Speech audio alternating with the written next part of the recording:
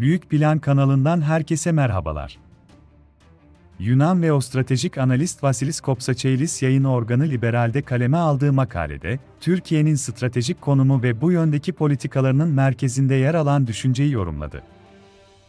Covid-19 pandemisiyle ilgili birçok analiz düzeyi olduğunu belirten Kopsaçeilis makalesinde, en önemlilerinden biri, batılı tüketici pazarlarının Afrika'nın stratejik ham maddelerine, Doğu Asya'daki üretim hatlarına olan güçlü bağımlılığının ortaya çıkması ve başta nakliye olmak üzere tedarik zincirindeki artan maliyetlerdir.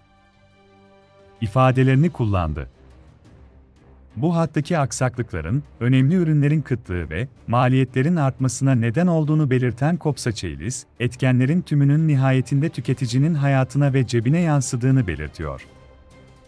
Kopsaçeilis'e göre, liberal batı toplumlarında tüketiciye yönelik baskılar, ekonomik ve sosyal düzenlerini, dolayısıyla oylarını etkiler. İstikrarsızlaştırmanın diğer parametreleri dikkate alındığında, durumun kötüleşmesi, Avrupa'da tarihsel sonuçlar doğurabilir. Yunan uzmana göre, stratejik yollar üzerindeki bir tıkanıklığı ihtimal dışı görenlerin, Osmanlı'nın İstanbul'u fethettikten sonra, Avrupa için stratejik deniz yollarını nasıl eline aldığına bakmalı. İstanbul'un fethi, işlerin gidişatını değiştirdi.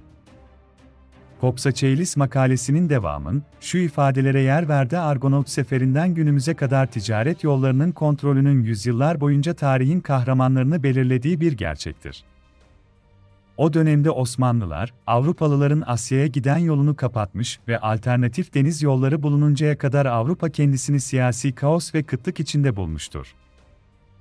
Bugün, aynı tarihsel deneyim, Türkiye'nin stratejik düşüncesinin merkezinde yer almaktadır ticaret yollarını kontrol etme çabası ve o stratejik vizyonun temel taşıdır.